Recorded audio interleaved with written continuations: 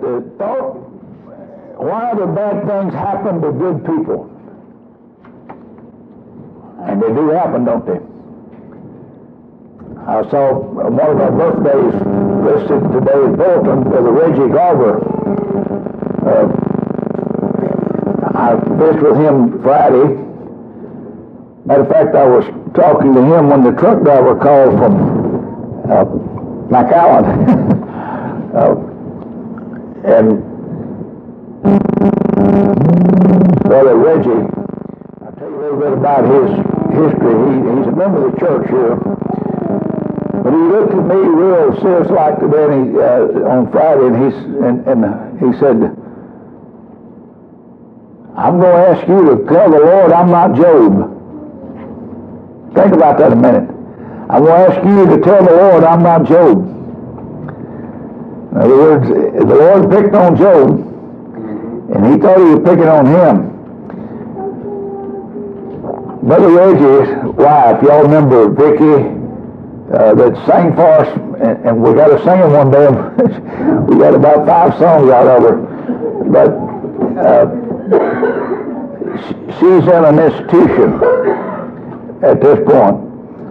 But Brother Reggie, now get this, had to give his wife a divorce before he could get her any help. They would not help her. He begged everybody to help, and they would not help uh, give her any assistance.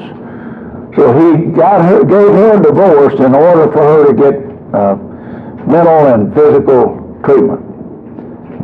Uh, it's sad to say, and she's off up North Texas somewhere in a uh, institution. Brother Reggie rides a bicycle to work, and the lady that he's taking care of an elderly lady that's unable to take care of himself, and she fell again this week. She fell last week and fell this week, and he's having to run with a bicycle about two miles to check on her and then back. He, he's worked for the Whataburger down here for the last 20 some odd years. But anyway, uh, keep Brother Reggie in your prayers because he was feeling like Job. it goes along with our thoughts. Why bad things happen to good people. Uh, let's read it. Luke chapter 13 in the first five verses. Now there was present at that season some that told Jesus of the Galileans, whose blood Pilate had mingled with their sacrifices. And Jesus answering them said unto them, Suppose ye that these Galileans were, sinner, were sinners above all the Galileans, because they suffered such things. I tell you, nay, but except ye repent, ye shall all likewise perish. Or those eighteen upon whom the tower of Siloam fell and slew them. Think ye that they were sinners above all men that dwelt in Jerusalem? That was the tower that fell uh, in Siloam, as things did, accidents do happen, and 18 people lost their life because of tower that fell on them. And the Lord said, do you think they were sinners above all men that dwelt in Jerusalem? He said, I tell you, no, they weren't the worst sinners. Nay, but except you repent, and again he repeats himself, ye shall all likewise perish. All right. Let's begin with a true modern day story. There's a family that I read about some years ago now the name of Cord and Sylvia McRae. A little boy named Josh was two years old. And things began to go backwards for them. Cord lost his job. A few days later, his wife grew ill and died. And Cord was left with a little boy and no job. And they've been living a life at least consistent with that of a Christian. But things began to go backward for them. And uh, they needed, uh, at least Cord needed some encouragement. And uh, he began, of course, to blame himself for what had happened to him. He cuts on the TV and he hears one of the evangelists preach that bad things happened because of lack of faith and prayer. And his own pastor preached that suffering came because he was guilty of some kind of sin. Now, folks, I, I got to warn you, we can't judge people. That's what happened to Job's friends, wasn't it?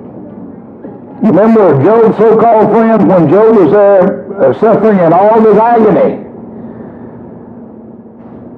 With the grief of losing all ten of his children at one time. And Job's friends come along and said, Job, you may as well confess to us because we know you did something wrong. We just don't know what it was. Folks, when you got friends like that, you don't need any enemies. You got enough. But throughout the book of Job, you'll find Job's friends accusing him. At least three of those friends, so-called friends.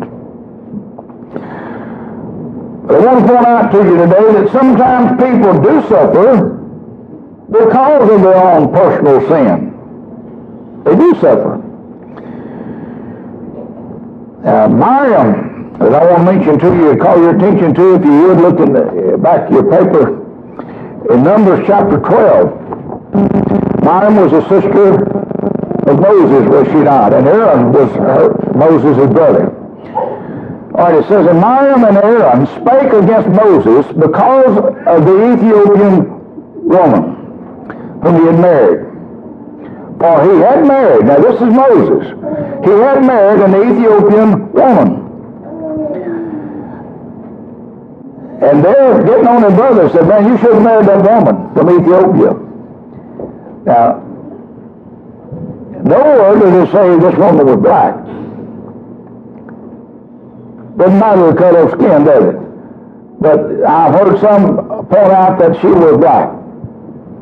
All people in Ethiopia are not black. Some are, most are. But anyway, Moses' brother and sister, can't you just see that in the family? Look, look who you. Moses, you wrong. Y'all got any siblings like that that want to tell you what to do and not always right? We all have siblings, don't we? Uh, I buried my only sister last year, and a little over a year ago now, and bless her heart, she was always telling me what to do. Always. But here's a case where punishment was rendered. All right. Verse 9 says, The anger of the Lord was kindled against Moses, uh, Aaron and Miriam. And uh, he departed. Verse 10 says, And the cloud departed from off the tabernacle, and behold, Miriam became leprous, white as snow. And Aaron looked upon Miriam, and behold, she was leprous. God sent a case of leprosy to attack Miriam because Miriam judged her brother and got on her brother about whom he chose for his wife. Oh, you got to be careful about monkey with what the Lord told somebody else to do. You got to let them run their own life, don't you? Didn't you just see that? The sister and Miriam? But she got in trouble over it. Now, nobody here likes the word cancer, do they?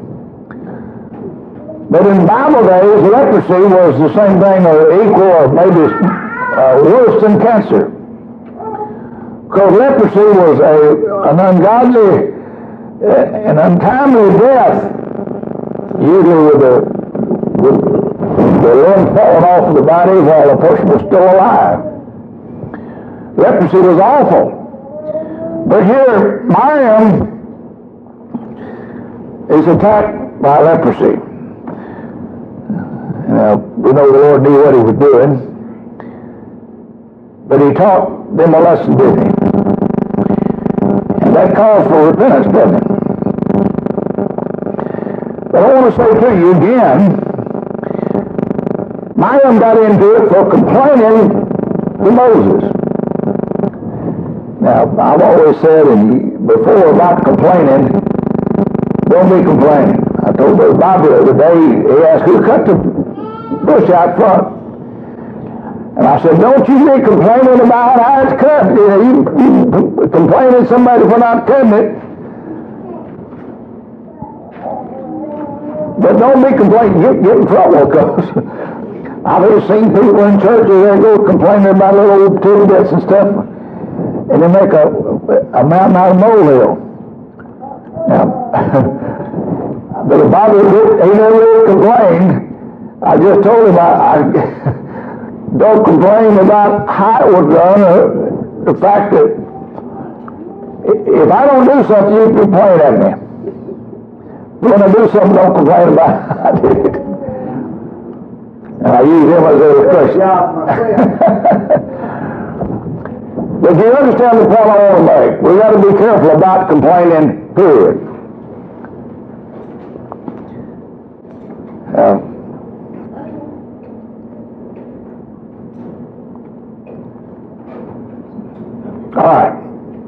Miriam got into trouble, and Moses got into trouble, didn't he? When he fell enter he, uh, God put a curse on him that he could, would not enter Canaan because he struck the rock.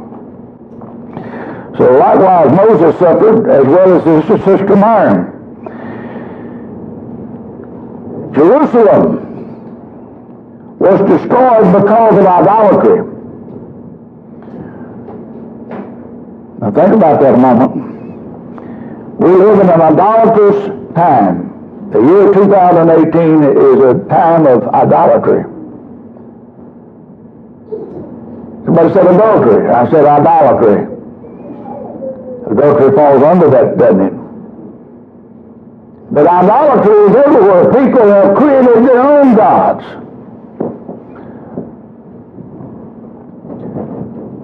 So, off of Westheimer this week, and I looked up at a sign up there, and it says the Church of Scientology.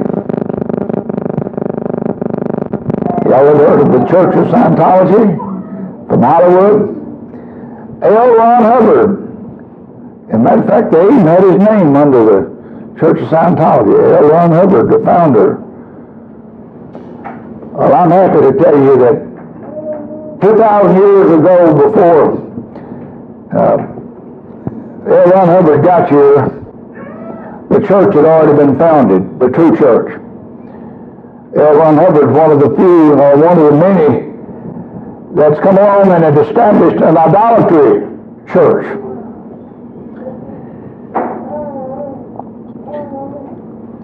But again, people do suffer because of their waywardness. King David is the best example that I can think of in all the scriptures. The Lord said, you'll reap what you sow, didn't he?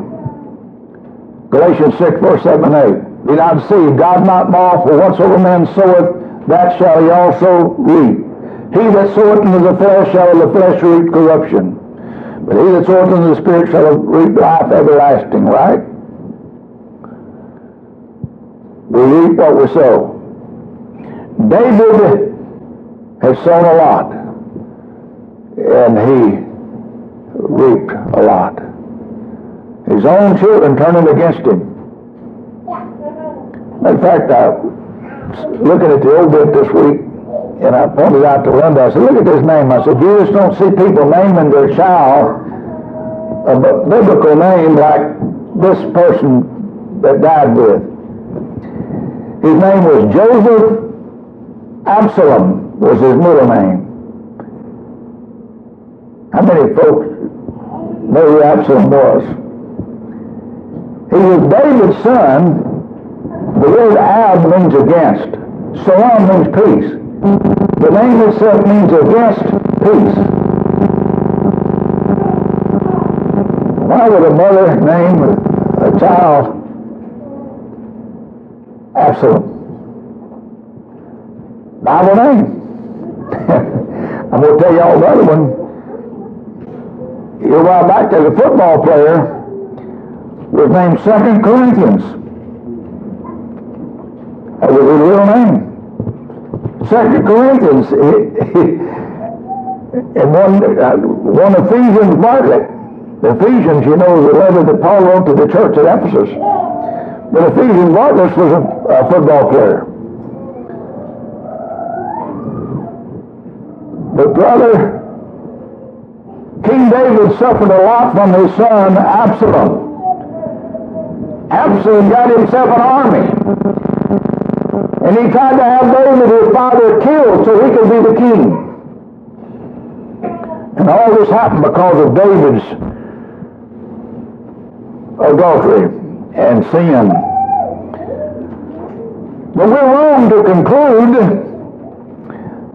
that suffering comes only because of one sin. And we'll go back to Job.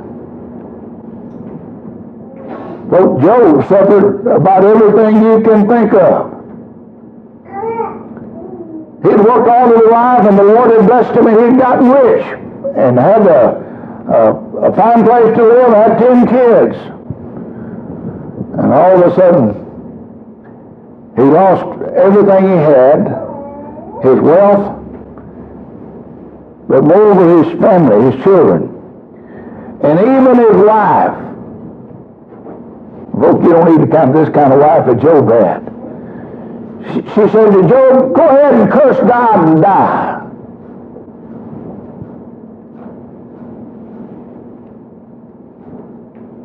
Hadn't done anything wrong. Here last year, Sunday morning, down below San Antonio, a little, little place called Sutherland Springs. Y'all know what I'm talking about. This maniac goes in down with the, the assault weapons and he kills, how many, 25, 26 church members or people that were in service that Sunday morning. And everybody in there had some kind of an injury at least that was left other than those that died for no reason.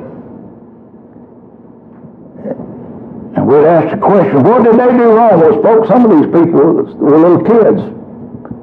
And we can't blame them for doing something wrong. The point being, good people still suffer.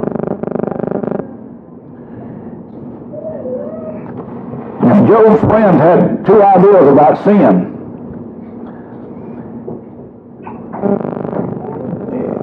They concluded that all suffering results from sin. They also concluded that God punished each act equally. Not so. But as we read in the scriptures of the Gospels, we read the story, if you would, in John chapter 9. Let's read those first uh, four verses there, John chapter 9, in the middle of your page. And as Jesus passed by, he saw a man which was blind from his birth. Jesus' disciples asked him, saying, Master, who did sin, this man or his parents, that he was born blind? Who, who's going to blame? Jesus answered, Neither hath this man sinned, nor his parents, but that the works of God should be made manifest in him. I must, must work the works of him that sent me while it is day. The night cometh when no man can work. The Lord knew that man was going to be there way back yonder before he got here. And the Lord used this event to get people's attention. Everybody knew that this man was blind. For years and years he sat there. From blind from his birth. But he was there because our Lord knew that he was going to pass by. And was going to heal this man.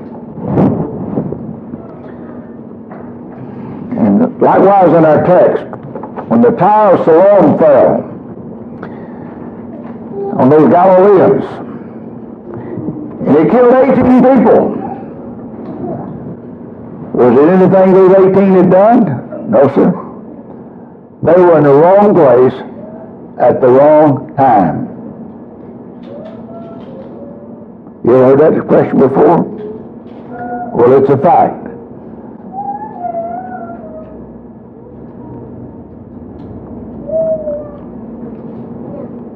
Not anything that they individually had done.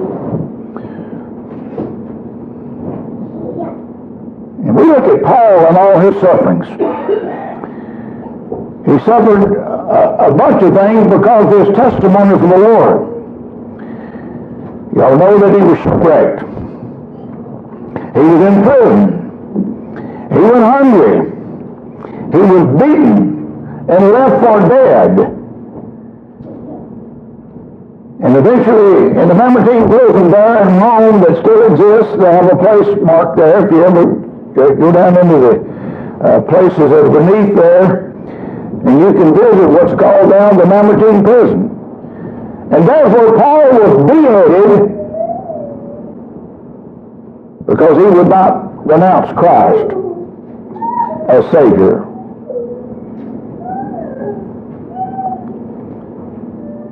So wasn't anything that Paul did wrong that made him suffer. It's what Paul did right that made him suffer. Bad things do happen to good people for a good reason. We read about Job. You ever tried to uh, wonder how, over the years gone by how many millions have read about Job? And the fact that Job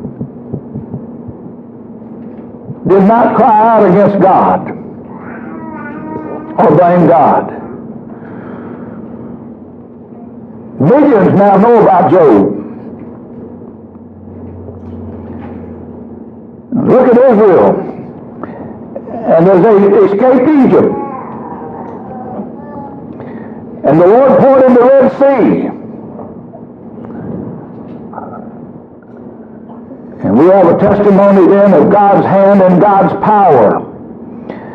Absolutely nothing that our Lord cannot and will not do for his children.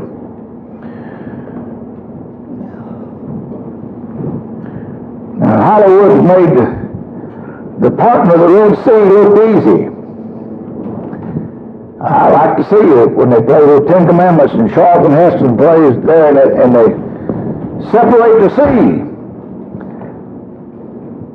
They wasn't even close to what how God actually did it. And Israel went over on dry ground. Amen. Some four million people can you imagine Houston gathering up right now and, hey, folks, let's get out of here? What a, a situation it would be and four million people trying to leave at one time. They got off out there not far from the Red Sea and they said, why did God bring us out here? Why didn't he just kill us in Egypt?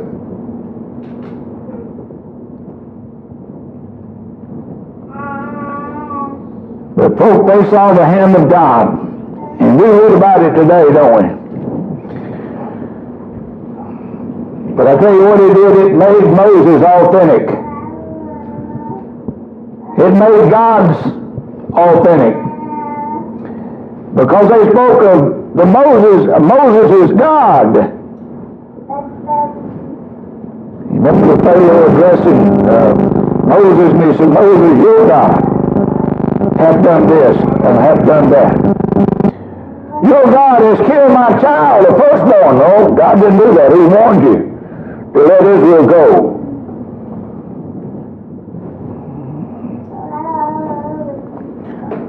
You were going to play a good part in that, didn't he? And failed.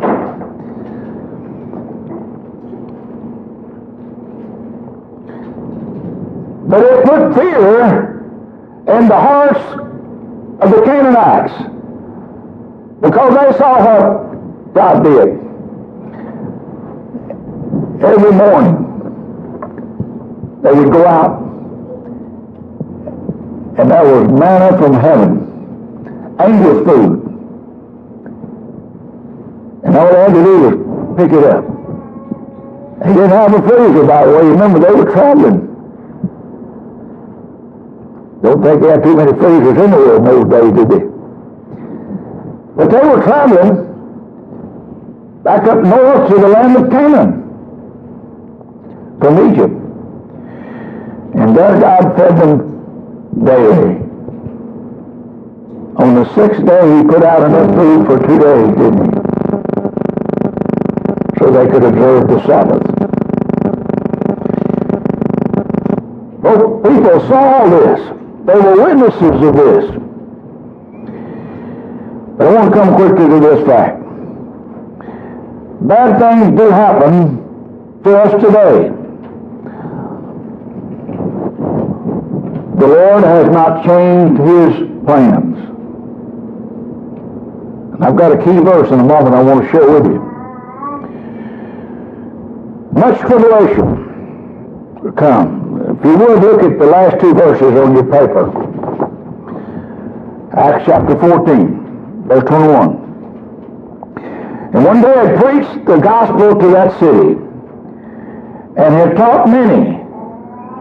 They returned again to Lystra and to Iconium and to Antioch, confirming the souls of the disciples and exhorting them to continue in the faith and that we must through much tribulation enter into the kingdom of God. What they say? It said too much joy. It said much tribulation. Amen. And the Lord tells us over and over again that if we follow him, we're going to be persecuted. He said, Yea, and all that live godly in Christ Jesus shall suffer persecution. And brother, if you if you take a stand for what's right, there's a price to pay. The Lord told us ahead of time that through much tribulation we would enter into the kingdom of God. Folks, if you want to see the tribulation that comes, you turn to the scripture in Revelation where uh, we have the days of uh, Jacob's troubles, the days of the great tribulation will come. Folks, I don't think you're too far around the corner. But we'll comfort our brothers and sisters in Christ when they do come.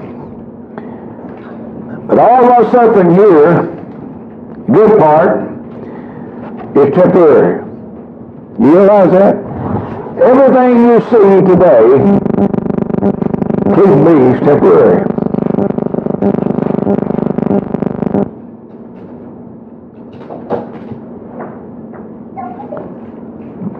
Showed Linda a piece on Facebook. Uh, A couple of good friends of mine that I went to school with posted on Facebook a picture yesterday of the movie star down here, James Drury. Y'all remember him? Y'all seen him on those Western movies?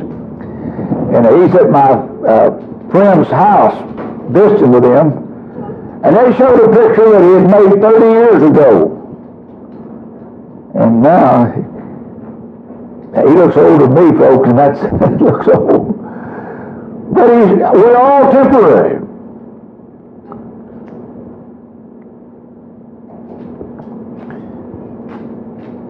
we can't stay. This old body wears out. We have an eternity to the death. I have a little paper in my pocket. you get old, you do that, these kind of things. I showed Brother Bobby this morning, my family, there was 11 kids, five mothers. My mother had four sisters, actually had five, but there were five women. And all those siblings, we, we grew up close together. We were like brothers and sisters rather than cousins, first cousins. I started with my brother, who's the oldest of those 11 grandchildren. His name's still there without a check. But then I've got Burnham, Lorraine, Velma, myself, Floyd, Inga, Peggy, Jerry, Brenda, and Mike. My brother, the oldest one, doesn't have a check, but he's still living. But there's only four that doesn't have checks by them. But okay, there's a time for a check for each one of those, isn't it? Can't get around it. But the best part about it, we're going to check out of this place and check into a better place. Well, we're going to dwell with the Lord forever.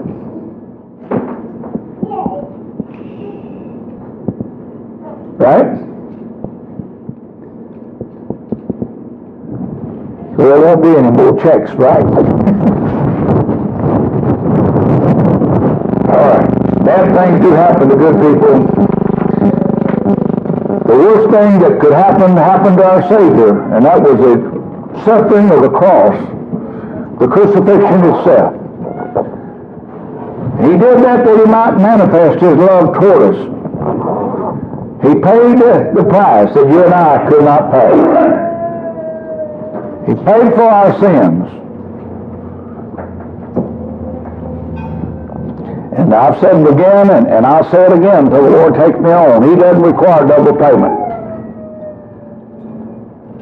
They were paid for one time in the blood of the only begotten Son of God.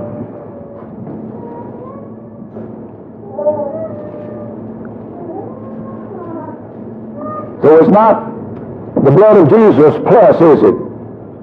It's the blood of Jesus covers all of our sins. Doesn't matter what they are.